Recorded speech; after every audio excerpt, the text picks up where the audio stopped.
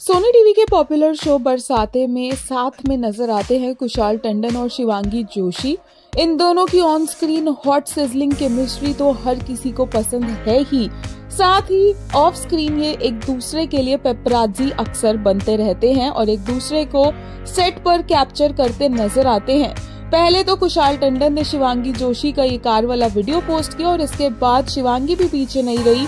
और उन्होंने कुशाल का ये वाला वीडियो शूट किया जहाँ पर वो एक सीन के बीच में है और डायरेक्टर के इंस्ट्रक्शंस को फॉलो कर रहे हैं। और उसके बाद फाइनली जब डायरेक्टर कट बोलते हैं तो खुशाल शिवांगी की तरफ़, कैमरे की तरफ़ एक लड्डू लेकर आते हैं।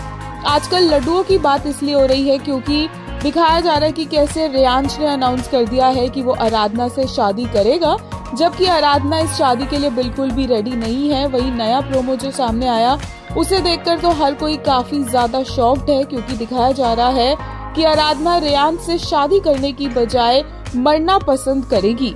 इसके अलावा रियांश और आराधना से मिलने के लिए सेट पर उनके कुछ फैंस भी पहुँचे, जिसके ये ग्लिम्सेस उन्हीं फैंस ने शेयर किए हैं, जहाँ पर कुशाल और शिवांगी उनके साथ नज़र आ रहे हैं पोस्ट करते हुए और काफ़ी क्यूट लग रहे हैं। देखिए रियांश लांबा का ऑन सेट वीडियो जो शेयर किया है शिवांगी जोशी ने।